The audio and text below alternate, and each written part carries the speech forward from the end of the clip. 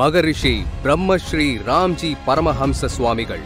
இவர் வெறும் ஜோதிடர் மட்டுமல்ல ஆன்மீக உலகின் அடையாளம்.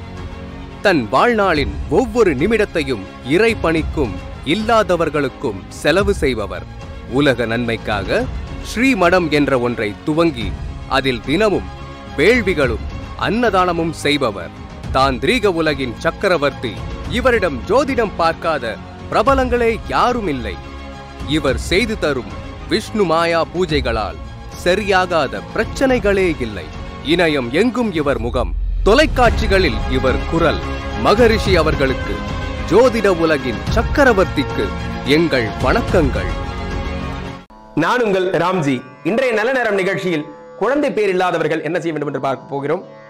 சந்தான கோபாலகிருஷ்ண சுவாமிக்கு நவமி என்று வழிபட வேண்டும். புத்திரகாரகன் குருவிற்கு கொண்ட கடல மாலை சாத்தி மஞ்சள் வஸ்திரம் அணிவித்து விஷபத்வஜாய வித்மகே கிரிணிஹஸ்தாய தீமகி தன்னோ குரு பிரச்சோதியாத் என்று சொல்லி வர குழந்தை பேர் கிடைக்கும். இது போன்ற தேவையுடையவர்கள் ஸ்ரீமடத்தில் நடக்கும் வேள்விகளில் பங்கு பெறுங்கள். நான் சொல்வதை கேட்டு நடந்தால் எல்லா நேரமும் நல்ல நேரம் தான் புதுயுகம் நேயர்களுக்கு இனிய காலை வணக்கம். இது உங்கள் நல்ல நேரம் நிகழ்ச்சி. இன்னைக்கு ஷோல நம்ம கூட யார் இருக்காங்க பாத்தீங்கன்னா மகரிஷி பிரம்ம ஸ்ரீ ராம்ஜி பரமஹம்ச சுவாமிகள் இருக்காரு. சுவாமிஜியை ஷோல வெல்கம் பண்ணிக்கலாம். வணக்கம் சுவாமிஜி. வணக்கம் வணக்கம்.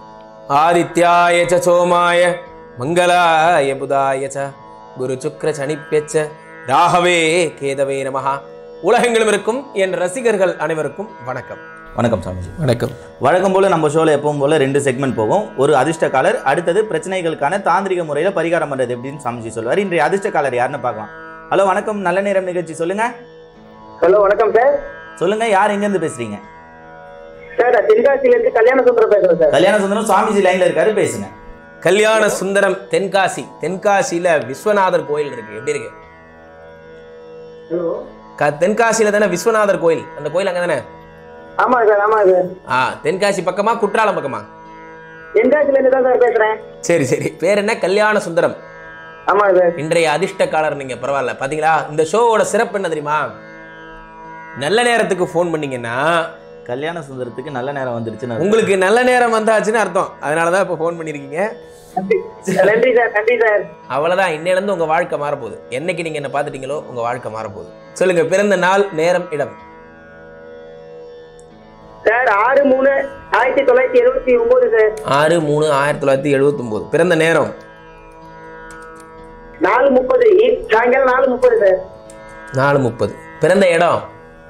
தென்காசி. தான் சார் தென்காசி மிதுனராசி மிருகசீரிஷ நட்சத்திரம் மூன்றாம் பாதம் கடக லக்னம் லக்னத்திலே புதன் நாலுல சந்திரன் மாந்தியும் அஞ்சுல குரு ஆறுல சனியும் ராகும் சுக்கிரன் மூணுல சனி இருபத்தி மூணு மே ரெண்டாயிரத்தி பதினாறுலேருந்து ரெண்டாயிரத்தி முப்பத்தஞ்சு வரைக்கும். அதில் புதன் புக்தி இருபத்தாறு மே ரெண்டாயிரத்தி பத்தொம்போதுலேருந்து ரெண்டாயிரத்தி இருபத்தி ரெண்டு வரைக்கும். ஆஹ், சுக்கரன் நல்லா இருக்கார். ம். மிதுன ராசி வேற. மிதுனராசிக்காரர்கள் எல்லாருக்கும் இப்போ ஒம்போதில் குரு. ஓடி போனவனுக்கு ஒன்பதாம் இடத்துல குருன்னு சொல்லுவாங்க. அதனால் ரொம்ப பிரமாதமான நேரம் மிதுன ராசிக்காரங்களுக்கெல்லாம் தான் போன வருஷம் அஷ்டம சனி அஷ்டம குரு double attack heart attack brain attack மாதிரி இப்போ தான் ஃபேஸ் பண்ணிட்டு வந்தீங்க. அதனால் போன வருஷம் ஒரு தவறான என்ன சொல்கிறது நிறைய பாதைகளில் சென்று அல்லது ஏமாற்றங்களால் பாதிக்கப்பட்டு நிறைய கஷ்டப்பட்டு இருந்திருப்பீங்க மிதுன ராசிக்காரங்களுக்கு போன நிறைய நிறைய சார் சொல்ல அது அந்த கஷ்டத்தை தான் உங்ககிட்ட சொல்லலாம் தான் சார் ஃபோன் பண்ணேன். அதனால தான் சொல்கிறது லவ் பண்ணாதீங்கன்னு. சரி என்ன மாதிரி கஷ்டம்லாம் பட்டீங்க?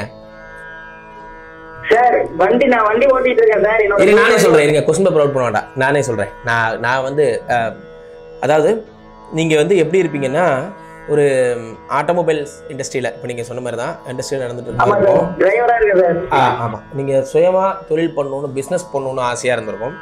சரியா?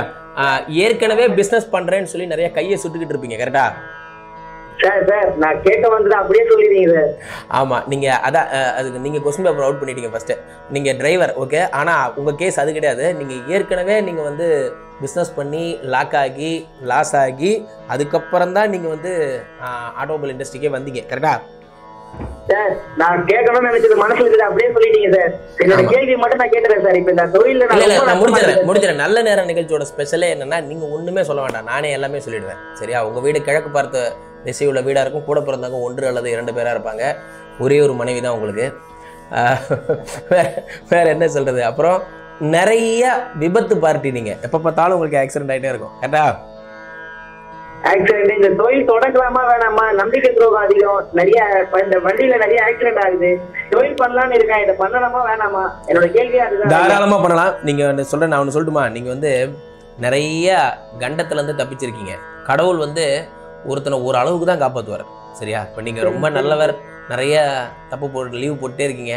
ஹெச்ஆர் ஒரு அளவுக்கு தான் உங்களை காப்பாற்ற முடியும். நீங்கள் திரும்ப திரும்ப பண்ணதே பண்ணிட்டே இருந்தீங்கன்னா சட்டம் தன் கடமையை செய்யும். அவ்வளோதான் அந்த மாதிரி தான் இது.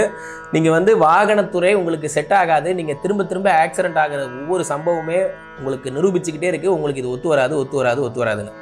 மீண்டும் மீண்டும் நான் வந்து ஒரு வண்டி ரெண்டு வண்டி ஆக்குறேன் மூணு வண்டி ஆக்குறேன் நான் இதில் தான் குதிப்பேன்னா பார்த்துக்குங்க உங்களுக்கு அது திரும்பவும் கண்டத்தை தான் உருவாக்கும். நீங்கள் இந்த தொழிலில் இறங்கலாம். ஆனால் நான் என்ன சொல்கிறேன் இந்த தொழில் நீங்கள் இறங்குங்க. நீங்கள் மற்றவங்கள வச்சு ஓட்டுங்க. நீங்கள் ஓட்டாதீங்கன்னு தான் நான் சொல்கிறேன் சரிங்க சார் அப்ப வண்டி ஓட்ட வேணான்றீங்க சார் நீங்கள் வண்டி மட்டும் ஓட்டாதீங்க. நீங்கள் அப்படியே உட்காந்து எல்லாரையும் சூப்பர்வைசிங் பண்ணுங்க. பிசினஸ் ஆரம்பிக்கலாம் ஆனா வண்டி நீங்க ஓட்டாதீங்கன்னு நீங்க. ஓட்டாதீங்கன்னு சொல்றேன் அவ்வளவுதான். புதன் தசை போயிட்டு இருக்கு. உங்களுக்கு இப்போ குரு வந்து ஒன்பதுல இருக்காரு. ஆலங்குடி போயிட்டு குரு பகவானை பார்த்துட்டு வரணும். ஒன்பது பத்து பதினொன்று பன்னெண்டு ஒன்றை பார்க்குறாரு. இப்போ குரு வந்து லக்னத்தை பா ராசியை பார்க்குறாரு. ரொம்ப யோ அரு- அருமையான ஒரு நேரம். அடுத்து மூணை பார்ப்பார் அடுத்து ஐந்தை பார்ப்பார். சரியா? ராசியை குரு பார்த்துட்டார். அதனால மங்களகரமான விஷயங்கள் நியூ வெஞ்சர்ஸ் ஏற்படும். மிதுன ராசிக்காரங்களுக்கெல்லாம் நான் காலையில் கூட ஒருத்தர்ட்ட சொன்னேன். இன்னைக்கு ஜாதகம் பார்க்கும்போது மிதுன ராசிக்காரங்களா புதிய வேலை வாய்ப்பு கிடைக்கும். புதிய ஒரு விஷயம் கிடைக்கும். இந்த வருஷம் இரநூறு பர்சன்ட் கல்யாணம் ஆகிடும் குரு பார்த்துட்டாரு லக்னத்தை ராசியை. ஆமாம் அதனால நீங்கள் பண்ண வேண்டியது என்னன்னா கொண்டக்கடலை வாங்கி குரு பகவானுக்கு சாட்டுருங்க சரியா? புதன் திசை நடப்பதால. புதன் திசை நடப்பதால. சிகப்பு நிற ஆடைகள் அணிந்து கொள்ளுங்கள். சிகப்பு நிற ஆடைகள். விஷ்ணு சகஸ்ரநாமம் டெய்லி படிங்க. விஷ்ணு சகஸ்ரநாமம் படிங்க. டெய்லியும் விஷ்ணு புரா விஷ்ணு புராணம் கேட்கலாம். அல்லது நீங்கள் விஷ்ணு திருமால் கோயிலுக்கு பெருமாள் கோயிலுக்கு நீங்கள் வந்து புதன்கிழமைகளில் போகலாம் சரி ஆமாம் நீங்கள் ஸ்ரீமடத்துக்கு வாங்க. உங்களுக்கு வந்து இதுக்கு அவிட்ட நட்சத்திரத்தன்னைக்கு முருகனுடைய வேலில் ஒரு எலுமிச்சம்பழம் குத்தி வெற்றிவேல் முருகனுக்கு அரோஹரா வெற்றிவேல் முருகனுக்கு அரோஹரா சொல்லிட்டே வாங்க. தமிழ் கடவுள் நம் முருகப்பெருமானை தவிர விபத்தை தடுப்பவர்கள் எவரும் இல்லை. என்ன? அவிட்ட நட்சத்திரத்தன்னைக்கு முருகன் கோயில் போய் அங்கே இருக்கிற வேலில் எலுமிச்சம்பழம் குத்தணும். ஏன் எலுமிச்சம்பழம் குத்தணும்? எலுமிச்சம்பழம் குத்துறது ஒரு பலியை போல. ஒவ்வொரு சூலாயுதம் வீட்டில் வச்சிருக்கேன் குருஜி கத்தி வீட்டில் வச்சிருக்கேன் குருஜி. அம்முனா அதில் ஆயுதத்தில் என்ன இருக்கணும்? கண்டிப்பாக அதுக்குரிய பலி இருக்கணும். அதுதான் பலி. அதனால அதை நீங்கள் குத்திட்டு வாங்க. செவ்வாய்க்கிழமையில முருக வழிபாட்டை மேற்று மேற்கொள்ளுங்க சரியா? சரிங்க சார். நன்றி சார். கிராஷ் பேடில் காரில் போகும்போது கிராஷ் பேடில் காகித பூக்கள் பேப்பர் பூ வச்சுட்டு போங்க. ஆக்சிடென்ட்டே ஆகாது. நேர்களே இது சொன்னால் நீங்கள் நம்ப மாட்டீங்க. இது ஒரு புது டெக்னிக்கு காரில் போகும்போது பேப்பர் பூ வச்சுட்டு போனீங்கன்னா உங்களுக்கு ஆக்சிடென்ட்டே ஆகாது. சிறப்பு சாமிஜி உண்மையை கல்யாண சுந்தரத்துக்கு ரொம்ப அருமையான விளக்கம் சொன்னீங்க. கொரோனாக்கு அப்புறம் உண்மையிலேயே பாதிக்கப்பட்ட மக்கள் யாருன்னா இந்த மாதிரி. டிரைவருங்க தான். உண்மையிலேயே நீங்க சொன்ன விஷயம் இந்த காகித பூ சொன்னீங்க இல்லையா? அது ரொம்பவே யூஸ்ஃபுல்லான தகவலா இருக்கும். நம்ம இது ஒரு புதிய தகவல் இது. ஆனால் வெள்ளை கலர் அது என்ன கலர்னா சிகப்பு கலர் காகித பூ வைக்கணும். அதை பார்த்துக்கோங்க. அது மனமற்ற பூங்கிறது ஒரு பலிக்கு சமானம். உயிரற்ற உடலுக்கு சமானம். அதை நீங்கள் வச்சுட்டு போகும்போது என்ன ஆகும்னா ஆக்சிடென்ட் ஆகாது. சின்ன சின்ன கான்செப்ட்ஸ் தான். கார் மேலே காரை நீங்கள் எவ்வளோ தெய்வமாக ட்ரீட் பண்ணுறீங்களோ அது உங்களை அவ்வளோ தூரம் நல்லபடியாக வச்சுக்கும். நீங்கள் அதை ஒரு ஒரு மிஷின் மாதிரி ட்ரீட் பண்ணுறீங்கன்னா அது கூட்டு போய் உங்களை தள்ளி தான் விடும். அதுக்கு அதுக்கிட்ட அதை லவ் பண்ணணும் அது அதை மதிக்கணும் சரியா? ஸோ இதில் ஒரு விஷயம் என்னன்னா அதில் டெய்லி அதை சாமி படம் இருக்கணும் அதில் உள்ள பூ கட்டி வைக்கணும். அதே மாதிரி எலுமிச்சம்பழம் அடிக்கடி அதை திருஷ்டி சுற்றி போடணும். ஆஹ் நேரம் ஆகிட்டே இருக்கு. இன்றைய தாந்திரிக பரிகாரம் பார்த்துருவோம் இன்றைய தாந்திரிக பரிகாரம் என்னவென்றால் குழந்தை இல்லாதவர்களுக்காக சொல்லப்படுவது. குழந்தை இல்லாதவர்கள் குரு பகவானுக்கு கொண்டக்கடலை மாலை போட்டு ரிஷபத்வஜாய வித்மஹே கிரினிஹஸ்தாய திமிகி தன்னோ குரு பிரச்சோதியாத் சொல்லுங்க இதெல்லாம் எல்லாருக்கும் தெரியும். கொண்டக்கடலை மாலை எடுத்துக்கோங்க. கொண்டக்கடலை எடுத்துக்கோங்க. ஒரு மஞ்சள் கலர் பேப்பர் எடுத்துக்கோங்க. அதில் கொண்டக்கடலை வைங்க. அதை மூடி தலைக்கடியில் வச்சு படுத்துக்கோங்க. திரும்ப அடுத்த நாள் காலையில் அதை எடுத்து பேப்பரை சுவாமி முன்னாடி விரித்து வச்சிருங்க. கொண்டக்கடலையை போட்டு. ரெண்டாம் நாள் மூணாம் நாள் நாலாம் நாள் இந்த மாதிரி எட்டு நாள் பேப்பரில் வைப்பீங்க. தலைகாணி கடையில் வச்சு படுத்து தூங்குவீங்க. அடுத்த நாள் எடுத்து வந்து சுவாமியிட வைப்பீங்க. ஒன்பதாவது நாள் மஞ்சள் கலர் துணி எடுத்துக்கோங்க. எட்டு நாள் நீங்கள் விரிச்சு விரித்து வச்சிங்கல்ல பேப்பரை அது எல்லாத்தையும் எடுத்து அந்த துணியில் போடுங்க. அந்த துணியை கட்டுங்க. மூணு தடவை முகத்தை சுற்றி போட்டு கடலில் தூக்கி போட்டு திரும்பி பக்கம் வந்துருங்க. இந்த மாதிரி பண்ணீங்கன்னா குழந்தை பிறப்பு நடக்கும். திருப்பாம்புபுரம் செல்லலாம். திருப்பாம்புரம் திருநள்ளாறு போகிற வழியில் கும்பகோணத்தில் லெஃப்ட்டில் இருக்குது திருப்பாம்புபுரம். சனிக்கிழமை தங்கிட்டு ஞாயிற்றுக்கிழமை காலையில் ராகு கேதுவை பார்த்துட்டு வாங்க. குழந்தை பிறப்பு உடனே கிடைக்கும். முகப்பேர் சென்னையில் இருக்கிற முகப்பேரில் சந்தான கோபால சுவாமி வாங்கி மடியில் வச்சு கொஞ்சணும். அதை கொஞ்சிட்டு தொட்டில் போட்டு தொ- ஆஹ், தாலாட்டு பாட்டிங்கன்னா பிறக்கும். ஒன்றுமே முடியலையா? ஸ்ரீமடத்துக்கு வாங்க. நான் இருக்கேன். ஸ்ரீமடத்துலேயும் சந்தான கோபால சுவாமி இருக்கார். அவருடைய அருளால் உங்களுக்கு குழந்த பிறக்கும். எல்லா நாளும் நாற்பத்தெட்டு நாள் நாங்கள் ஹோமம் பண்ணுறோம் உங்கள் பேர் வச்சு யந்திரம் வச்சு டெய்லி ஹோமம் பண்ணுறோம் அந்த ஹோமம் பண்ணி அந்த யந்திரத்தை உங்களுக்கு கொடுப்போம். குழந்த பிறப்பு இல்லாதவங்களுக்கெல்லாம் உடனே குழந்த பிறக்கும். கீழே இருக்கிற நம்பரை கூப்பிடுங்க. இந்த பரிகாரங்கள் எப்படி பண்ணிக்கணுங்கிறத கேளுங்க. சரியா? சிறப்பு சாமிஜி. இந்த தலைமுறையோட பெரிய பிரச்சனை குழந்தையின்மை. இல்லையா? அந்த மாதிரி குழந்தை இல்லாத பெற்றோர்கள்லாம் இந்த ஷோ பார்த்தாங்கன்னா ரொம்ப மிகவும் பயனுள்ளதா இருக்கும் அவங்களுக்கு. ஆஹ் நல்லபடியா இன்னைக்கு ஷோ ஒரு அதிர்ஷ்ட நல்ல நேரத்துக்கு ஃபோன் பண்ணா?